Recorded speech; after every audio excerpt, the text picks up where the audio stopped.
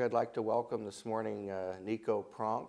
Um, we're going to be talking this morning in our Distinguished Leaders in Sports Medicine and Exercise Science series. And thank you for, for joining us this morning. Thanks for And I just us. wanted to start out a little bit with your, your background, your academic training, and, and so forth, and then talk a little bit about the, the, some of the books that you're doing and, and the, the organizations that you're involved with, and then uh, towards the end, talk more about your relationship with the American College of Sports Medicine and, and, and things like that. Yeah. So, the, the first thing I wanted to talk about was a little bit about your early career, and, and then we'll end with talking more about your relationship with the American College of Sports Medicine. Well, my, my early or my background, uh, Yeah. originally I'm from the Netherlands, uh, grew up in, uh, in Amsterdam area and came to the United States for my undergraduate work. And uh, that was actually, my interest was in physical education.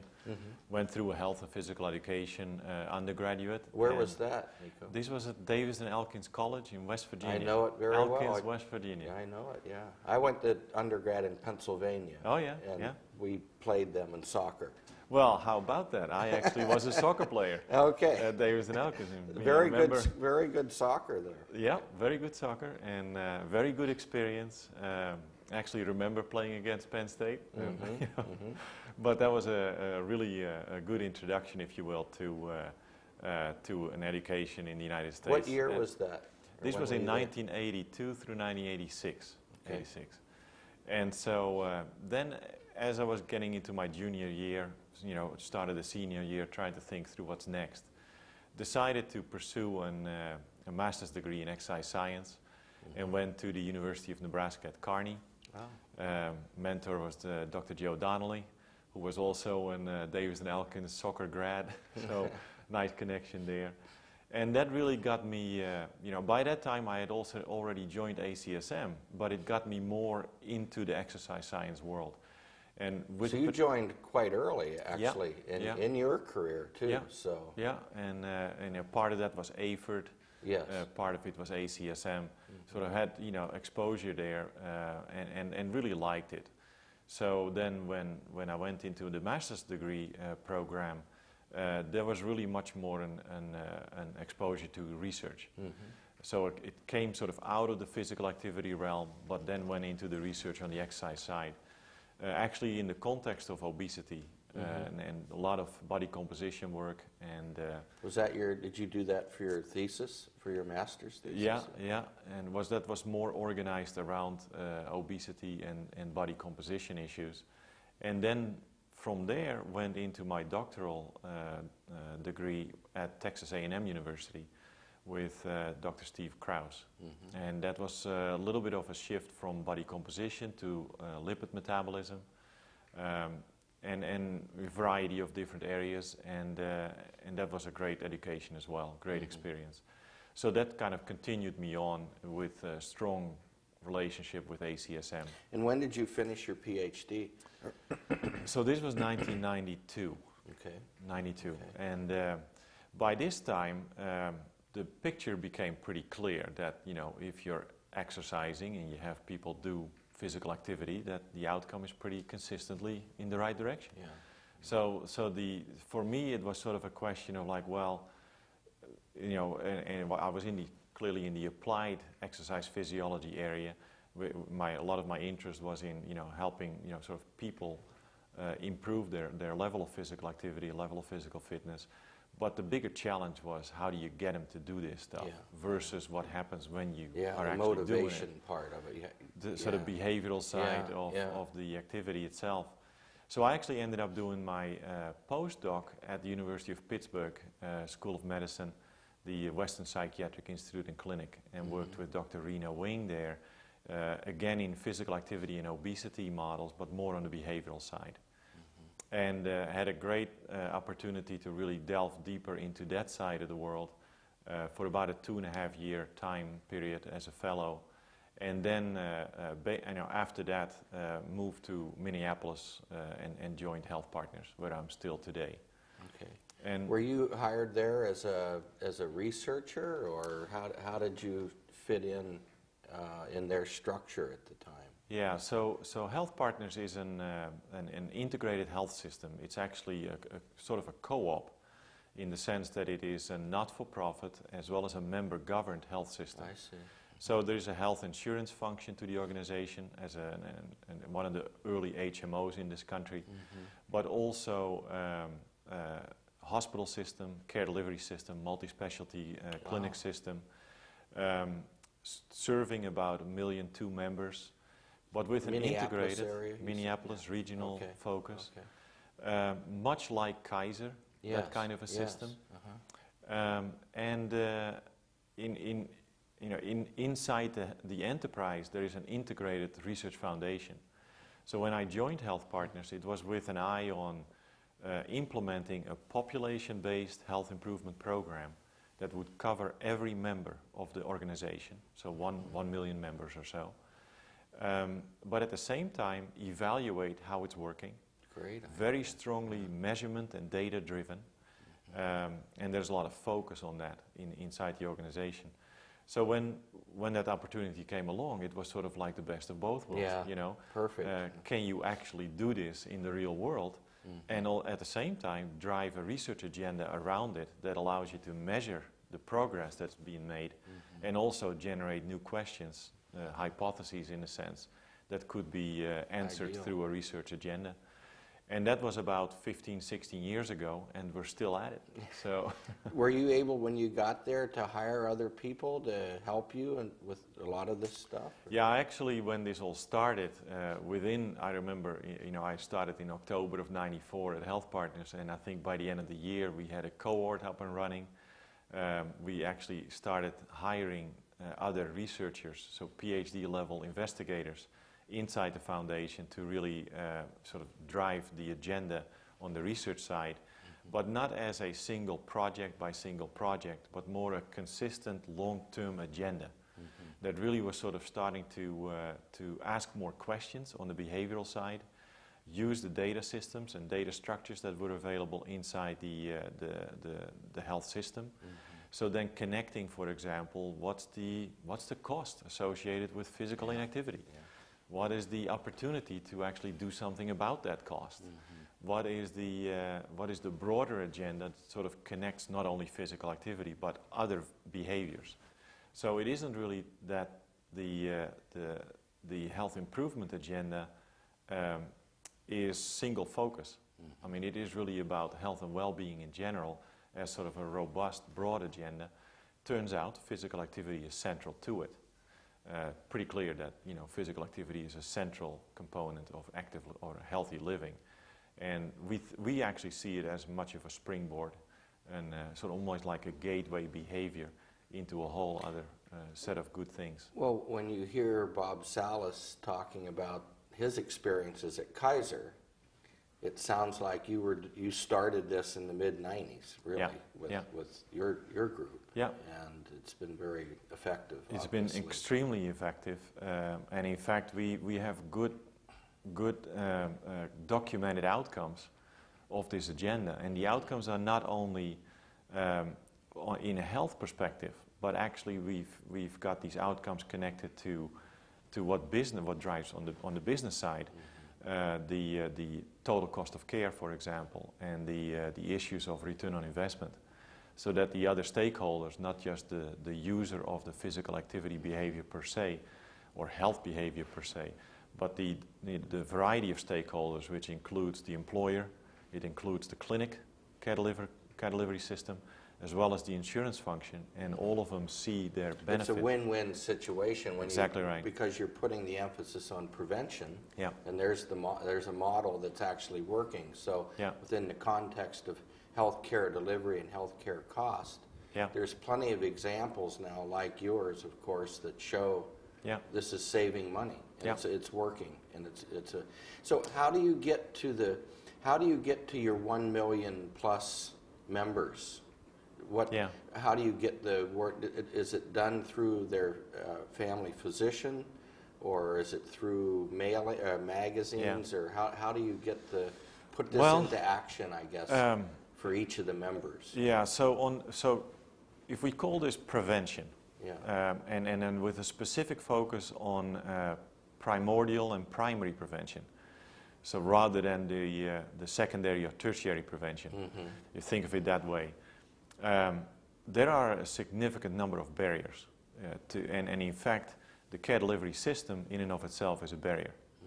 Um, there is just not enough room inside the current system as it is designed to get these primary preventive messages out. You know, you, you, you always hope and you bank on a couple of good, you know, kindred spirits out there that are trying to make this part of their clinical care delivery process. But the fundamental problem is that the care process doesn't allow you to put this stuff in. Uh, it's not reimbursed. Uh, it doesn't fit in the uh, set of services that are clinically, and, uh, and then of course the, the physician are not trained to provide this service. Right. So when you think of it that way, uh, even in the most well-meaning kind of context, it just doesn't work. And so, you know, after 15 years of trying this, I, you know, I really, I really think that unless you fundamentally create a payment reform structure that makes this part and parcel of how physicians and care delivery systems are Something that's reimbursed, billable, basically. billable. Yeah, yeah. And then it also means that it doesn't become a billable service, but make it part of a billable outcome. So that the, the, the payment mechanism for the physician world, if you will, or for the care delivery side, is not just focused on the services you provide, but rather on the outcomes you generate. Mm-hmm. And that could be an, uh, you know, a payment mechanism that has multiple components to it. Mm-hmm. That says, you know, first of all, there is a set of services you need to provide and they need to be paid for, but it's not in the absence of paying for the outcomes. Mm-hmm. And if you start paying for outcomes, you're starting to pay for health. Yes. yeah. And then you get primary prevention in there because that's where most of the action is when it comes to health. So I'm, say I'm a member, one of the members of, of, of your group. Um, what, what do I see and what do I hear and, and how does it filter down to my life Yeah. in, in your system? So basically, the, uh, the, the most direct pathways to the person, uh, the, the, whether that's, uh, that person is a member of the plan or a patient in the clinic or an employee at the work site, Okay, so they're Um, all, all included? it's the same person. Yes, you know, yeah. they just show up as a different Right. stakeholder in a different setting, and and really the two most direct pathways are directly from the health plan to the member, and through the health plan, um, actually through the employer in the worksite setting, as an employee or as a spouse or dependent. And in fact, I would argue that today the, the best outcomes are through the employer setting. Um, in the employer setting, we can work directly uh, by, by using the health insurance benefit function. You can start building uh, health improvement programs into the design of the benefit structure. You can build incentives in, communications in. You can work with the company around cultures of health, and really through that mechanism drive huge participation rates. So uh, today, in some of our products um, that are really insurance-based products, we we have uh, over 90% participation rates year over year. Wow. And then you, c- you really start driving improvement and you also start driving total cost of care coming down. Uh, people actually see this show up as financial benefit in their own pocket because their premiums go down or their, their, their co-insurance goes down. And it makes a difference in, in their lives financially. It makes a difference in the uh, employer's life uh, and, and how they end up paying for the cost of services. Well, I, I remember, I'm guessing, mid 70s, uh, an organization starting called uh, something Fitness in Business, Uh-huh. a national organ. And I thought, wow, what a great idea. And, and I remember some early books that had come out about worksite fitness programs, some of the big companies that had these, and that was all very positive. But that was in the 19, mid 1970s Right. it sounds like this is what you're, you're, you're talking about is continuing now. And I'm wondering if that organization still exists or has that changed or Yeah. it sounds like you're probably involved in that. Well, funny enough, funny enough, Um, as you bring up the mid 70s, so it actually started as, uh, as AFDIBI, the Association for uh, Fitness Directors in Business and Industry. That's it, yeah. And that moved, that, or, or sort of morphed into the Association for Fitness in Business, AFB, Okay. which then eventually became the Association for Worksite Health Promotion. And And then- that's what it's called now? No, No? actually, uh, AWHP ended up uh, uh, actually uh, running into some trouble in terms of financial, financially finding you know, itself into a place where it couldn't continue, Mhm. and actually found a home in 2000 in, within ACSM. Oh, And then about two years ago, we resurrected uh, the old AWHP, if you will, as the new uh, International Association for Worksite Health Promotion, IAWHP okay, which is an, an ACSM uh, affiliate society today. okay. And so that association is again once, once again alive, um, and I'm currently the president of IAWHP. Uh, and we're starting to rebuild, uh, but globally. And so today we have about 220 members again, uh, 11 countries represented, about 125 different companies as members. And so we, uh, we're back on the path of making this a reality. A- Any kind of newsletter yet, or anything, eh, meetings, or, I think you're involved in, you've been involved in books on worksite Yeah, yeah. promote, health promotion. Um, actually, uh, with, uh, along with ACSM, we've uh, created a new uh, uh, uh, worksite health handbook, and that's the second edition. So, uh, and that just came out in early 2009. It's the ACSM's worksite health handbook, um, and that's an, uh, an endorsed by IAWHP. Now, And you're, in- you're the editor? I'm the that? editor of that of that book. Okay. And, uh, and it really is an, uh, a book that represents close to 100 contributors from around the world. Wow. So it really is a Good. contemporary, very much an in-depth overview of what the industry is about, how to turn those uh, research-based messages into practical applications, Mhm. and it really is a good you know, resource for the field. At the same time, through IAWHP, we actually introduced yesterday at this meeting the, uh, the first uh, issue of a newsletter. So the newsletter is back. It's actually the uh, same name as the old journal in the field, Worksite Health. Mhm. And of course, the objective is now to bring slowly but surely the journal back uh, so that there is really a, once again an, uh, a a strong resource for the, for the field as a whole. Wow, great, great idea. Were you involved in the first edition of the book? Yeah, I was actually a section editor in the first edition. Okay, and when Um, was that? Do you remember when that, that was came 2003. out? Okay, So it was time for an update, and Yeah. it, it was really a uh, fundamental redesign. It was really because in the last five to seven years or so, the worksite health promotion industry as a whole has fundamentally changed. Uh, there has been an enormous amount of uh, mergers and acquisitions in this field. Uh, there used to be just a lot of small companies out there, vendors providing these services.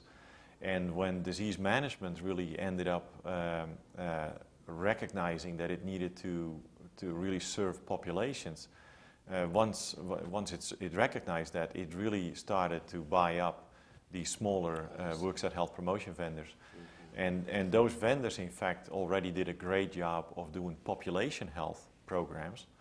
Um, but when you add to that the disease management kind of programs, uh, that then became an, a new, in, new, what today is the new industry around population health. Mhm. And uh, so it's, it's really an, uh, an, uh, a merging of all sorts of vendors uh, in different areas. So you know, some of them online vendors, some of them well-established uh, vendors in the field. But, but now you know, there are quite a few that, that, that, that have gone into really four, five, six major vendors today. Mhm. Do you, is, say there's a company out there uh, that wants to start a health promotion program for their employees. Uh, First of all, are there, I I would imagine there's still a lot of companies that haven't done this for whatever reason. But where would they turn? Would they turn to this organization for uh, Yeah. guidance on how to go about this? Is, or, or ask, is this in fact a, a good idea? Or- Yeah.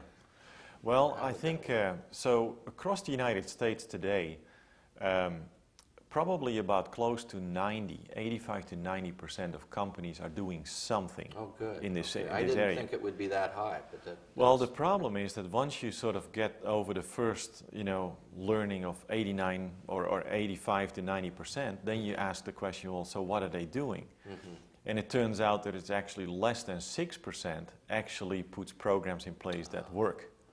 So when you think about what works and what actually ends up being a good investment, it's typically the comprehensive multi-component program that really drives outcomes.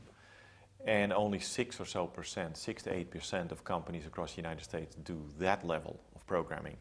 So when you sort of ask the first question, who's doing something, Yeah. it's a lot. Yeah. But who's doing something that works, it's actually very few. Do you think it's because it's, it's, it's financially impossible, or, or they just don't know what's No, right? I think- combination Yeah, I think it, it not, not necessarily financially impossible because across the board these programs are actually very low cost. Uh, th- these are compared to medical care. This is not low. You know, this is maybe a, a- good program uh, somewhere between seventy-five to two hundred dollars per employee per year. Wow. yeah, Well, if you compare if you compare that to the average cost of uh, healthcare of eight thousand dollars a year per person, um, it, it pales in comparison.